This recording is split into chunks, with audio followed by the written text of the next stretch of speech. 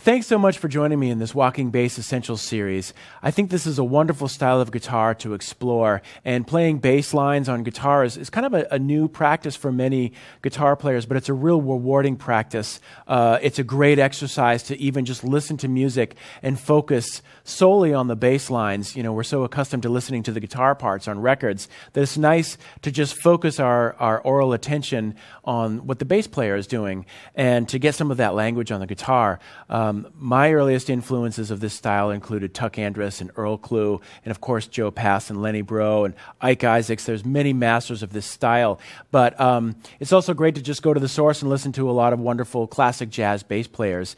This is a super fun and rewarding style to learn on guitar.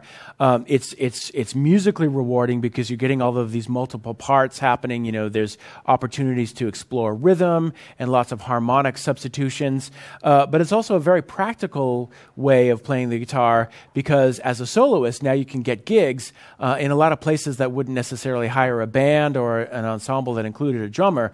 Now you can go and work uh, just, and you're the rhythm section. You know, you can either get a solo guitar gig or take those duo gigs and you don't have to worry about if the bass player is on the gig or not because now you can cover that ground and you can offer a very full you know way of accompanying a singer or an instrumentalist such as a trumpet or a saxophonist um, so it's rewarding on a lot of different levels Thanks for joining me.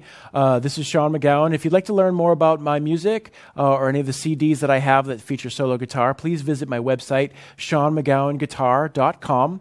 And I look forward to seeing you in the next series. Take care.